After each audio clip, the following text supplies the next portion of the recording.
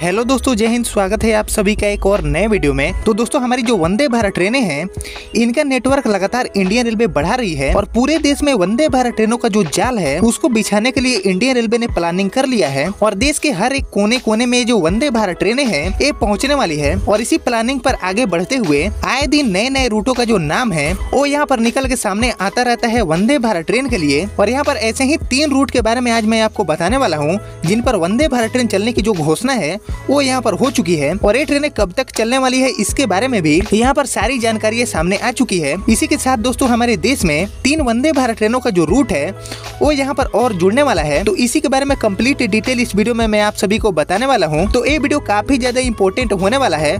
तो अभी से वीडियो को लाइक करके और चैनल को भी सब्सक्राइब कर लीजिए। तो चलिए बढ़ते हैं आज की इस वीडियो की तरफ़ और शुरू करते हैं आज की इस डिटेल वीडियो को। तो दोस्तों हमारी जो चेयर कार वाली वंदे भारत ट्रेनें हैं, वो अभी तक हमारे देश में चौतीस रूट पर ऑलरेडी चल रही है और इसकी जो संख्या है, वो इंडियन रेलवे लगातार बढ़ा रही है और आने वाले मार्च 2024 तक 75 वंदे भारत ट्रेनें हमारे पूरे देश में आपको देखने को मिलेगी और इसके ऊपर दोस्तों इंडियन रेलवे काफ़ी ज़्यादा गंभीरता से काम भी कर रही है। वहीं दोस्तों, बात कर ले इन तीनों वंदे भारत ट्रेनों की कि कौन कौन से रूट पर ये तीनों वंदे भारत ट्रेनें चलने वाली है तो इसके बारे में अब हम बात कर लेते हैं। तो इसमें जो सबसे पहला रूट है, वो है इंदौर से जयपुर वाला।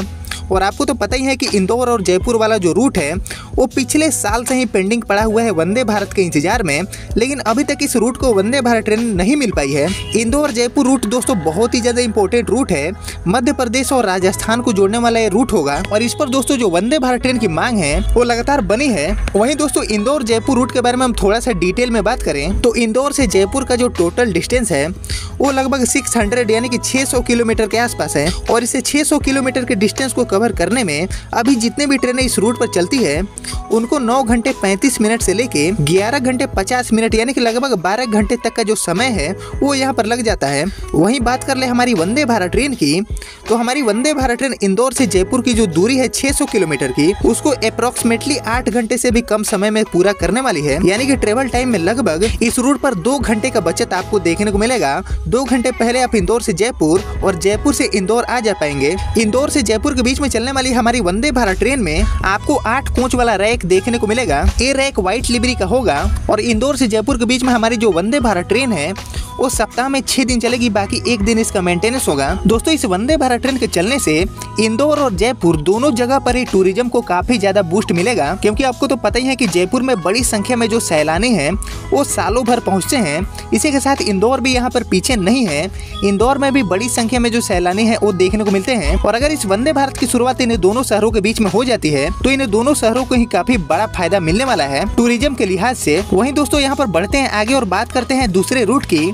तो दूसरा रूट है इंदौर से भीलवाड़ा वाला। और जैसा कि आप सबको पता होगा कि इंदौर भीलवाड़ा रूट भी वंदे भारत ट्रेन के लिए काफ़ी ज़्यादा डिमांडेबल रूट है और लगातार इस रूट पर वंदे भारत की जो डिमांड है, वो पिछले कई महीनों से बनी हुई है। वहीं दोस्तों, इंदौर भीलवाड़ा रूट के बारे में हम थोड़ा सा डिटेल में बात करें तो इंदौर से भीलवाड़ा का जो टोटल डिस्टेंस है, वो लगभग तीन सौ बासठ किलोमीटर है। यानी कि यहाँ पर डिस्टेंस कुछ ज़्यादा नहीं है, लेकिन ये वंदे भारत ट्रेन के लिए डिमांडेबल रूट होगा, क्योंकि लंबे समय से इस रूट के जो लोग हैं, उनके द्वारा वंदे भारत की जो डिमांड है वो लगातार मिनिस्ट्री ऑफ़ रेलवे तक लोगों ने पहुंचाई है। वहीं बात कर ले इस रूट पर चल रही ट्रेनों की तो इसे तीन सौ बासठ किलोमीटर के डिस्टेंस को कवर करने में, अभी जितने भी ट्रेनें इस रूट पर चला करती है, उनको लगभग छह घंटे चालीस मिनट से लेके सात घंटे तक का जो ट्रेवल टाइम है, वो यहाँ पर लग जाता है। वहीं बात करें हमारी वंदे भारत ट्रेन की जो इंदौर और भिलवाड़ा के बीच में चलेगी तो हमारी वंदे भारत ट्रेन इसे सेम डिस्टेंस को अप्रोक्सीमेटली साढ़े चार घंटे में कवर करने वाली है।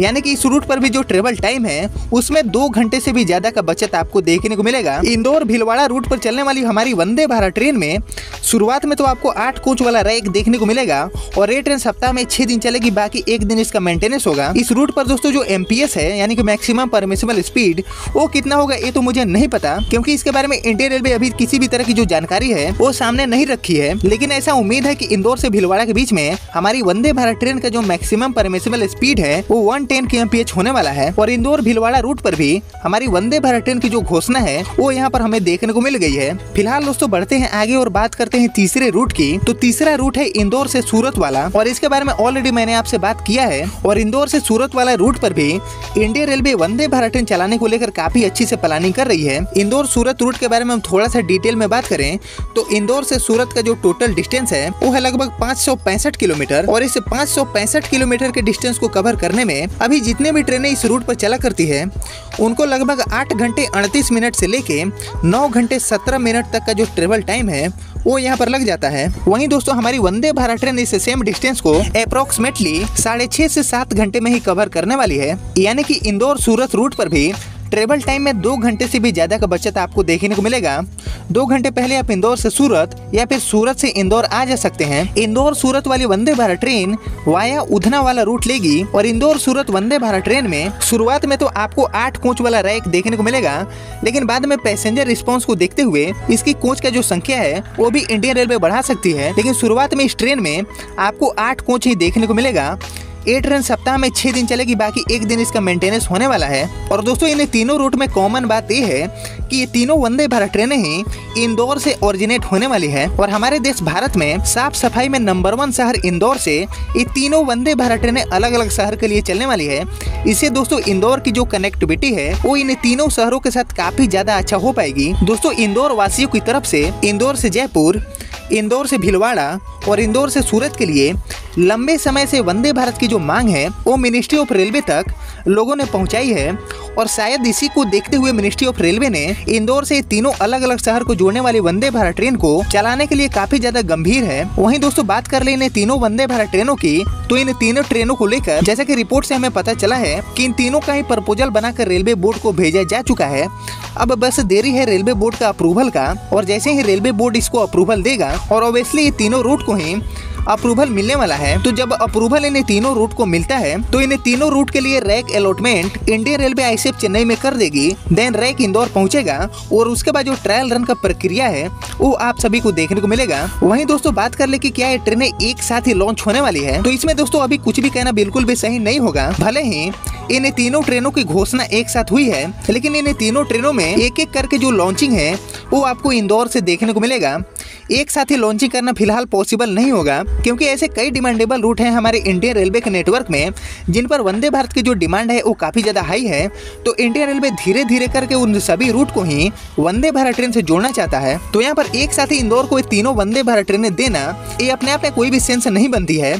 इसलिए बारी बारी करके इंदौर को ये तीनों वंदे भारत ट्रेनें मिलेगी। वहीं बात कर ले इसकी इनोग्रेशन डेट की, कि ये ट्रेनें कब तक हमें देखने को मिल जाएगी। तो इन्हें तीनों ट्रेन में से किसी एक वंदे भारत ट्रेन को आने वाले विधानसभा चुनाव से पहले इंडियन रेलवे इंट्रोड्यूस कर सकती है। यानी कि आने वाला जो विधानसभा चुनाव है, वो इसमें मेजर रोल निभाने वाला है। और इस विधानसभा चुनाव को लेकर ही इन तीनों वंदे भारत ट्रेनों में से किसी एक को इंडियन रेलवे इंदौर से इंट्रोड्यूस कर सकती है। और इनकी घोषणा भी विधानसभा चुनाव से जस्ट पहले की गई है। तो ऑब्वियसली इसमें पॉलिटिकल रीजन भी है। खैर, इसके बारे में मैं ज़्यादा कुछ बात नहीं करूँगा। लेकिन दोस्तों इंदौर वासियों के लिए काफ़ी बड़ी खुशखबरी है कि इन तीनों वंदे भारत ट्रेनों का जो घोषणा है, वो यहाँ पर हो चुका है और यहाँ पर इंदौर को एक साथ ही तीन वंदे भारत ट्रेनें इंडियन रेलवे एज ए तोहफा दे दिया है और इन तीनों वंदे भारत ट्रेनों की जो घोषणा है, वो दिवाली से जस्ट पहले की गई है। तो इसे आप दिवाली गिफ्ट भी इंदौर वासियों के लिए मान सकते हैं और इंदौर वाले जो भी वीडियो को देख रहे हैं तो यार आप लोग जमकर इस वीडियो को शेयर ज़रूर करना क्योंकि आप सभी को एक साथ मिल चुकी है तीन वंदे भारत ट्रेनें। हालाँकि दोस्तों, chair car Vande Bharat train के साथ साथ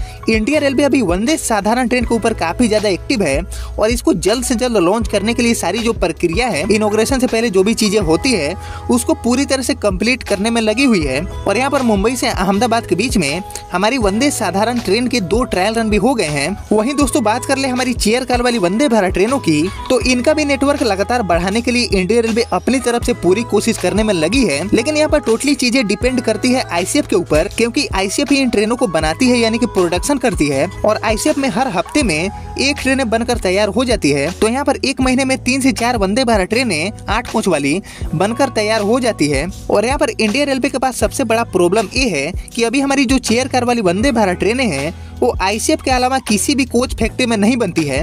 इसीलिए टोटल प्रेशर पड़ता है आईसीएफ के ऊपर और किसी भी कोच फैक्ट्री का एक लिमिट होता है, जिसे आगे वो कोच फैक्ट्री नहीं जा सकती है। और हमारी आईसीएफ कोच फैक्ट्री भी चेयर कार वाली वंदे भारत ट्रेनों का जो प्रोडक्शन है, वो लगातार रिकॉर्ड तोड़ कर रही है।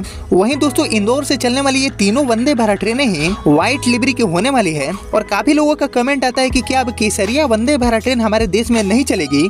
तो देखिए, इसको लेकर इंडियन रेलवे तो कुछ भी ऑफिशियली अपना जो बयान है, वो पब्लिक के सामने नहीं रखी है कि ये ट्रेन फ्यूचर में आने वाली है या फिर नहीं तो ऐसा हम नहीं कर सकते हैं कि हमारी जो केसरिया वंदे भारत ट्रेन है, वो हमें फ्यूचर में देखने को नहीं मिलेगी।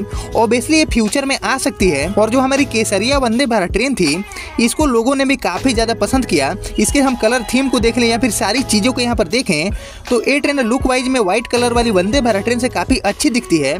इसीलिए लोग काफ़ी ज़्यादा इसको पसंद किए हैं। तो ऐसे में लोगों की पसंद को देखते हुए आईसीएफ चेन्नई में इन ट्रेनों का प्रोडक्शन आगे भी कंटिन्यू किया जा सकता है। और इन तीनों वंदे भारत ट्रेनों को लेकर जो की इंदौर ऐसी चलने वाली है, इनके बारे में कोई भी कंफर्मेशन आता है तो आपको सबसे पहले बताने की कोशिश करूँगा। और आपने यहाँ तक इस वीडियो को देख लिया तो प्लीज़ इस वीडियो को लाइक और चैनल को सब्सक्राइब ज़रूर करिएगा। बाकी मैं मिलता हूँ आपसे अगले वीडियो में, तब तक के लिए जय हिंद, जय भारत।